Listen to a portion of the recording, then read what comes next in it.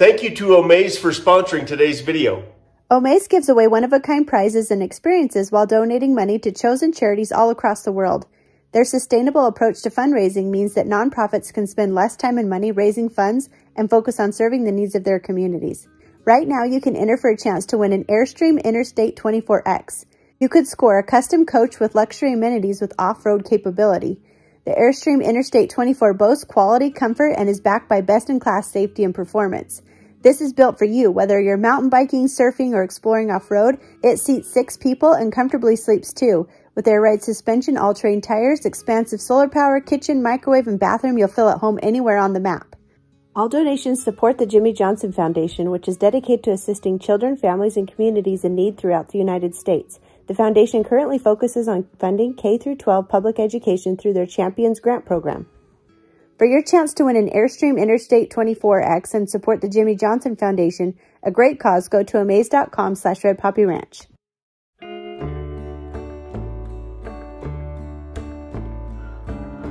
When the sun's going down, no stars in the sky. I'ma head down the road across county line where they roll up the smoke. They pour beer and wine, and hearts break on the jukebox where the neon stars shine. Where the neon stars shine and the whiskey flow in the dark of the night.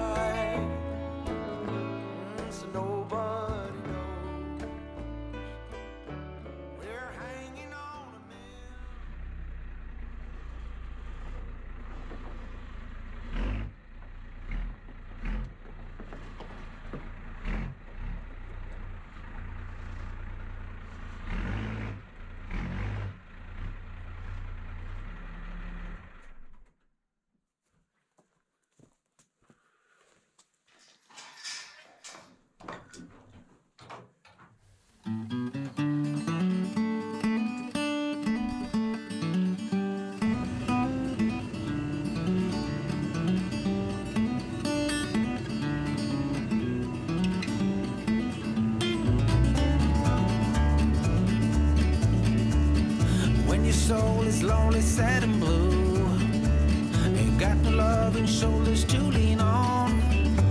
There's always a sunny side across the river. Take a ride, take a swim, and all your worries go away. Go cross the river, and you'll be fine. Go counting winners,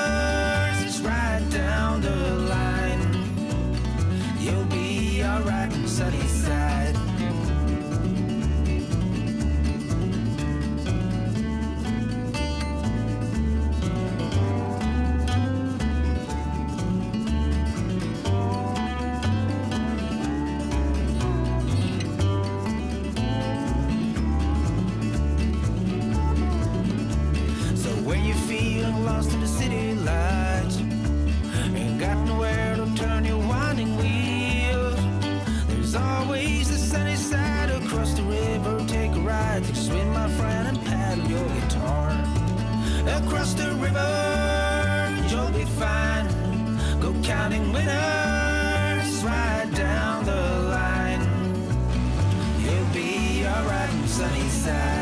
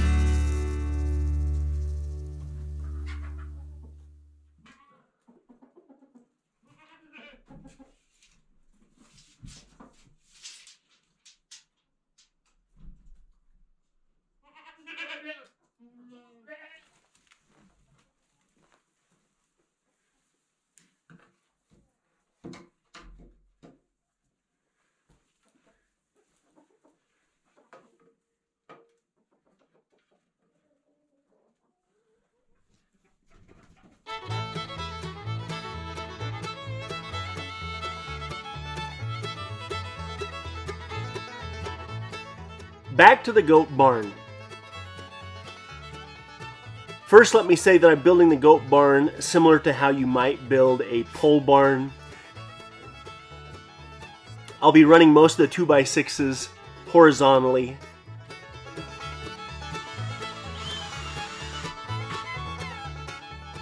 I'm trying to keep any untreated lumber from touching the ground because I know that with the animals around here, wood is going to rot away probably a little faster than normal.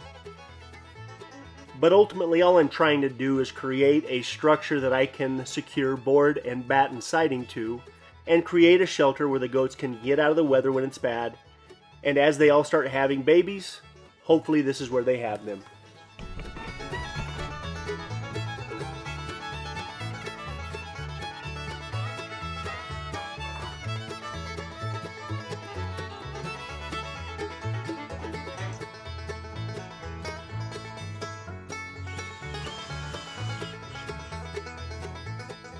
If you were paying attention at the beginning of the video, I flew the drone above our property up onto public land and I followed the creek up as far as I could with the drone and you could just see one of the many springs that feeds that creek.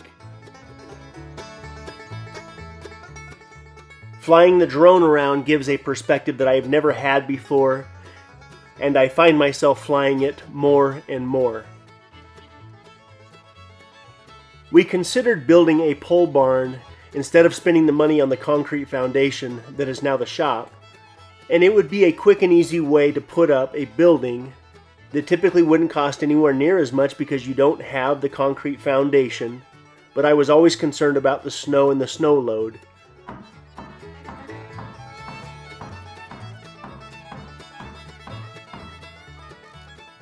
And this year we've got some seriously heavy snow around here because we had that rain in January, and I'm more than happy with how the new roofs around the shop have handled the snow.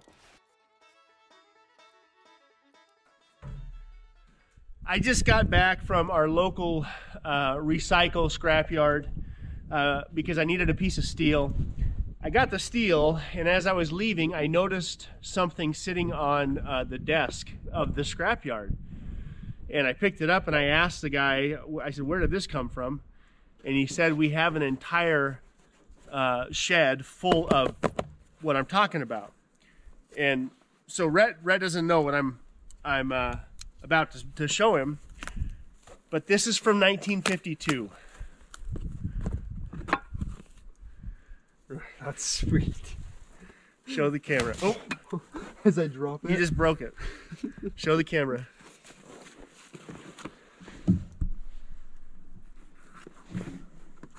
So he had this can sitting on his desk.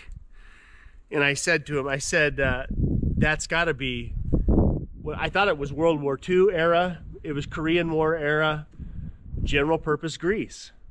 And he said somebody in town uh, needed to clean out a barn or something, and they, they had like 400 boxes.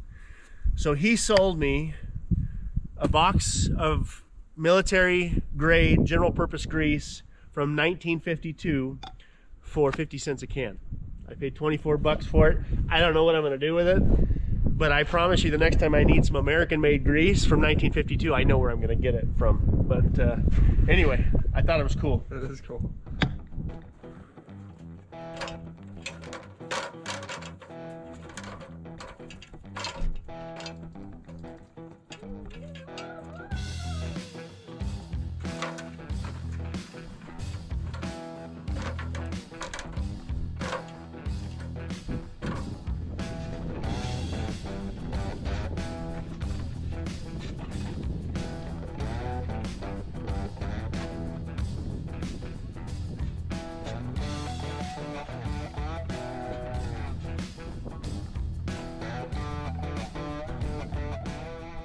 It doesn't feel like we've gotten anywhere near as much snow as we usually would by this time of year, but we did have that rain in January, and that causes the snow to get very, very heavy. Looking at it now, it's obvious we should have shoveled this off a couple of weeks ago. Underneath all of the snow that has accumulated here from both the second story and the first story, there's about a four inch thick sheet of ice. And the bottom line is there's some serious weight on this front porch right now.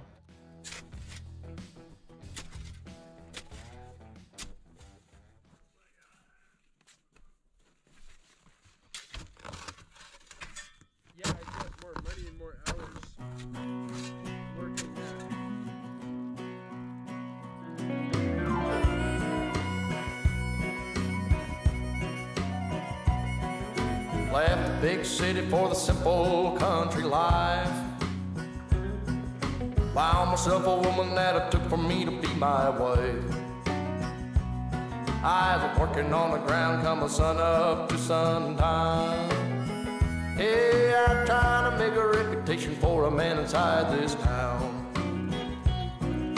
Hard as I try, maybe I just can't. I ain't no up and kinda leaving me. She kissed me one time and she took my heart. Baby, you can love me, you can leave me. I'm a honky tonk star. Yeah, I'm a honky tonk star. Well, working three jobs, living out of a car. Mama never told me life would get this hard. Running around the world playing my guitar. Baby, you can love me, you can leave me. I'm a honky tonk star. Yeah, I'm a honky tonk star.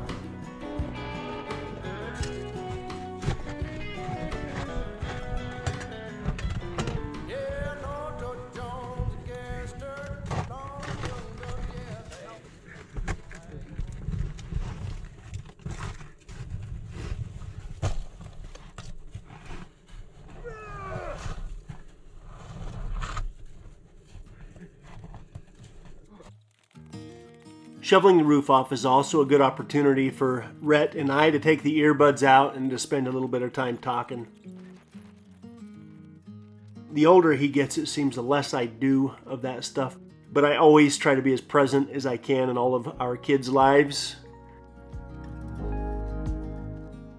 And sometimes I feel like I'm playing catch up, but there's nothing better than spending some time talking with your son and trying to shovel a little bit of snow in the process.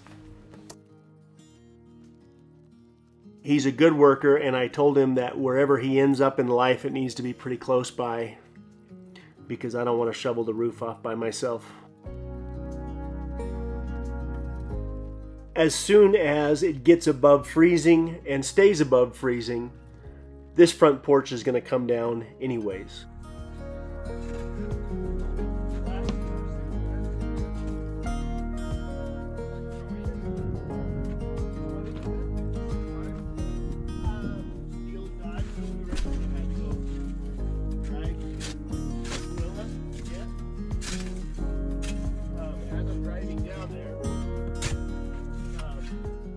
It's hard to see, but if you look at the front of the house right here, the way this wood siding took the stain is how we hoped the entire house would turn out. As I was using the stain that I had, which was a very high quality, very expensive stain and sealer, I tried to consistently mix it as I rolled the stain on, and by the time I got around to the front of the house, the stain was much darker. So we stopped because we weren't happy with how the front turned out. This is also something we are going to take care of for the last time this summer.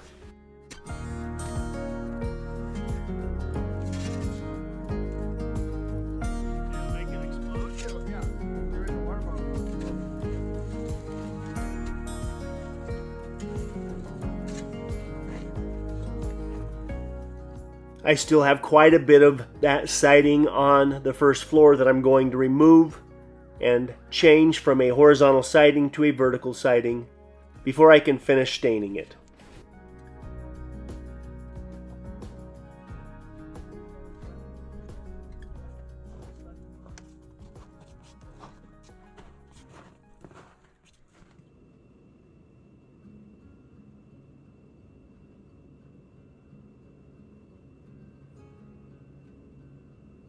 The first part of next week, I'm going to run over to the local sawmill, pick up what I need to finish all of the board and batten siding across the back of the shop.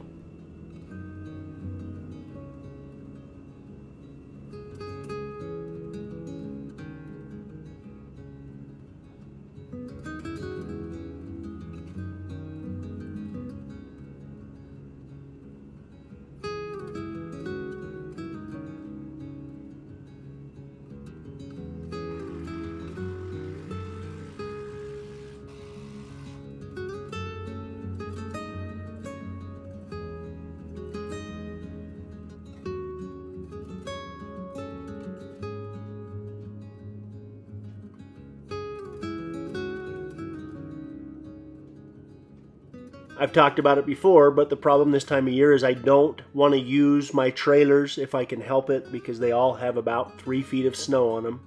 And even if I dug them out, it's very difficult to safely get it up the road and get it put back where I took it from when the snow is like this.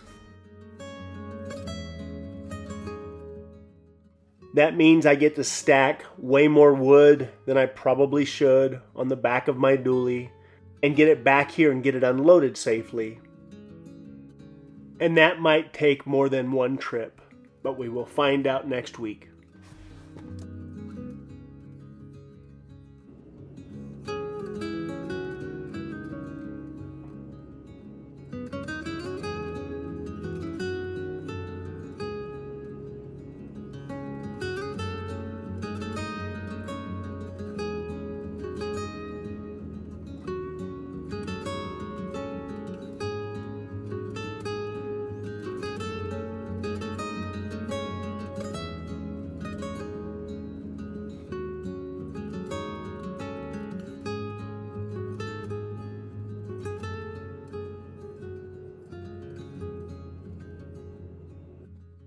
After moving from Arizona to southeastern Idaho, our very first winter here, we had the coldest weather that I'd ever seen.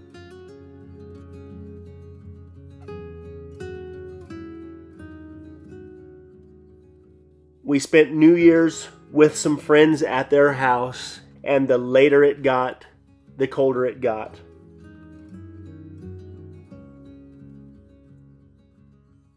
When we left their house around 2 a.m., it was 26 degrees below zero. Since then, we really have not had that kind of cold, not even close to it. But this morning it got down to 13 below zero.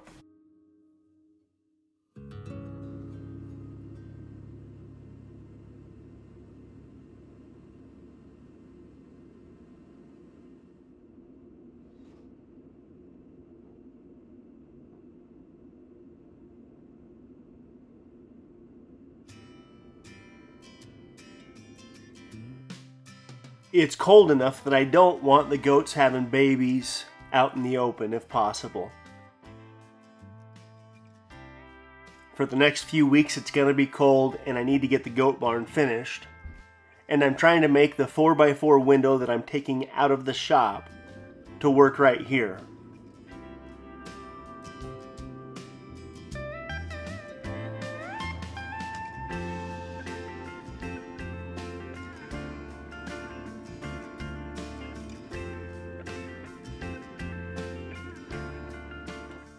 I'm scabbing things together a little bit here and there to make everything work. But I wanted to let as much natural sunlight into the goat barn as I possibly could. I'm trying to keep the window up as high as I possibly can so it doesn't get broken out by one of the goats.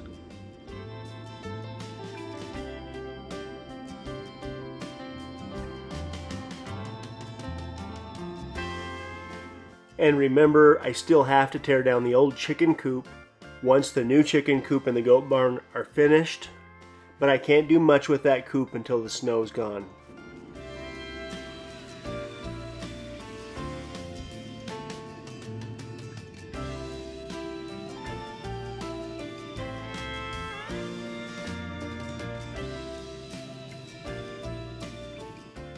So the plan is to stack as many as a 100 bales of hay right here in this spot.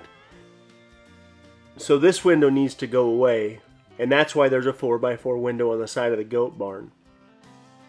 And I hope that lets a whole lot of natural light right in.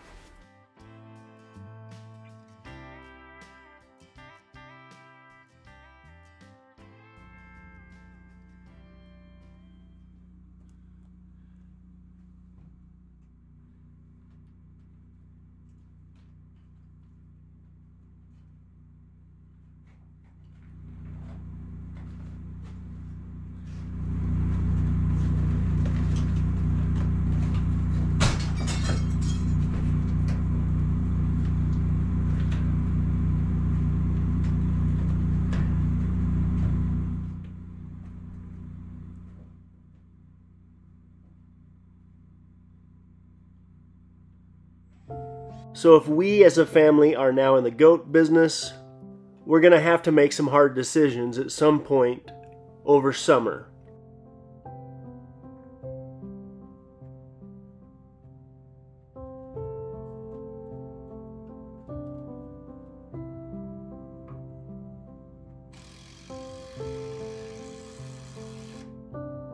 We currently have eight goats. Four of those goats are on their third pregnancy. Four of those goats, this is their first pregnancy. If you do the math the way I do the math, that is 12 baby goats we could very easily have on top of the 8 goats we already have. This little goat barn is not big enough for 20 goats.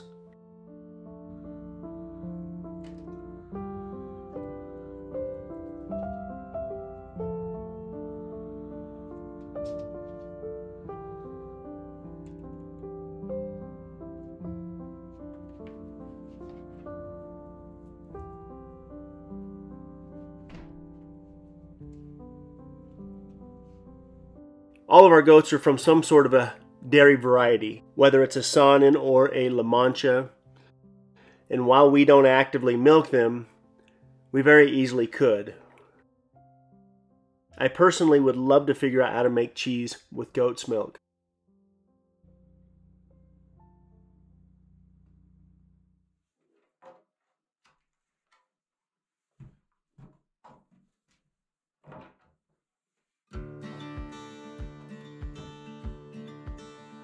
The way things are going, we might be ahead of the curve if we got our very own full scale dairy goat operation online before we absolutely had to have it.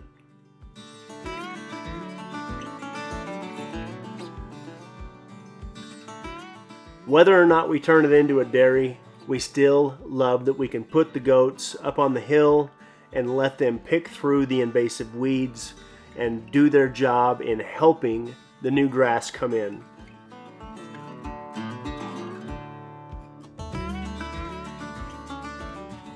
Whether you like it or not, you're actively participating in urban sprawl as you watch us carve our way into nature.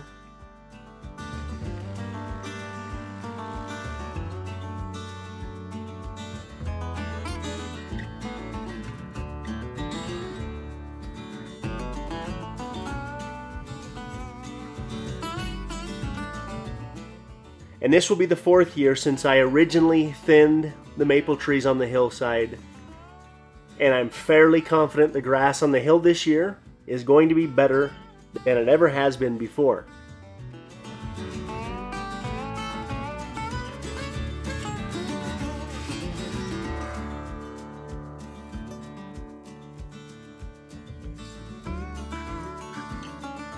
So the goats aren't entirely freeloaders. There's just not a whole lot they can do over winter when they're cooped up to a limited amount of space. The least I can do is make that little bit of space the most usable and the most comfortable for them as it can be.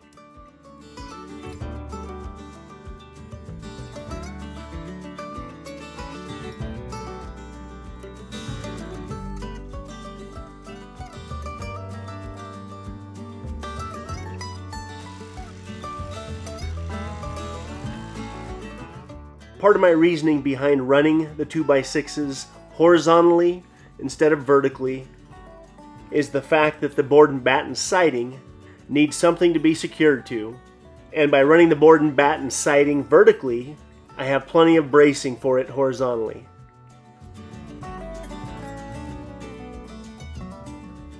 We will continue the board and batten look all the way around the shop and tie it into both the front and the back. And then other than the house and the repairs that I will do on the house siding, I should be done with board and batten for a while.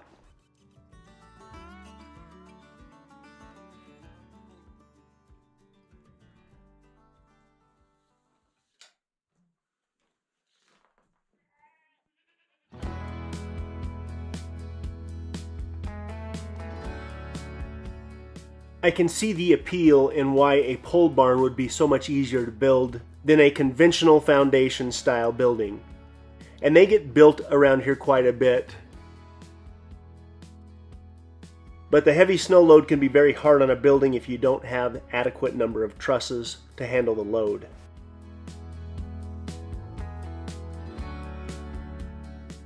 There's nothing structural about these walls here. And the way that it's all secured and put together, we could very easily take this apart and change it if we feel the need to do so down the road.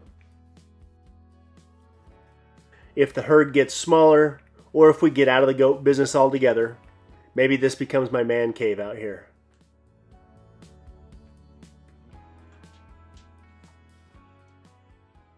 Okay, 18 inch by 36 window, Okay. a, a vertical slide window, one there, one here. I deliberately put them up high For light. That's it. for light. That's it. Not for them to headbutt. That's why I put them up high. Okay. I wanted to take it out of that spot there because that's where hay's gonna go. Okay. So, same height as that window, these two windows. Board and batten around the whole thing. This is a door. This door is wider, two inches wider than a wheelbarrow, so we can get in here and, Are you gonna leave that right there? no, no, I'll cut that out of there. So that'll be gone. Okay. She's huge. She could she could have twins if not triplets right here. And we could easily have 18 goats. like a bunch of babies running around. So my thoughts are the door swings this way. Okay. I don't think you need another thing that can get broken either. I, I feel like So that's just do still that too size low. window and that's it. Uh huh. Okay. I feel like they're gonna one horn into that window and it's dead. It's Yeah, gone. they gotta get up that high.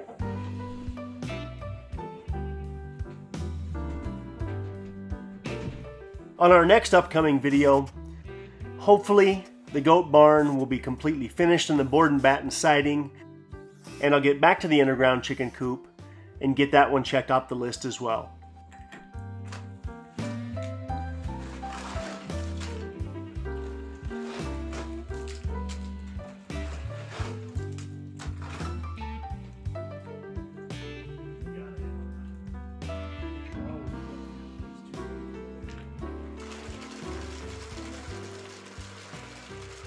All right, I'm done for the day. Uh, I'm not going to do any more until I can get over to the sawmill and pick up all of the one by 12s that I'm going to need for the board and batten to go around uh, the barn. And then I'm going to move over here to the chicken coop. I'm going to turn this entire opening in this back wall basically into uh, like the roof of a greenhouse. I'm going to use some sort of a transparent plastic, um, um, a polycarbonate plastic or something and make an entire window uh, that could potentially warm up the chicken coop as well. Um, both of the, the, the barn and the coop are going to have windows, so when it does get warm, we can open those windows up and, and, and hopefully help with that. But anyway, that's the focus over the next few days, is to see if we can't get this goat barn completely finished, and then get this uh, this underground chicken coop finished up. Then I can start watching the uh, new chicken coop and see if it's any warmer than it would be otherwise if it was just freestanding versus underground.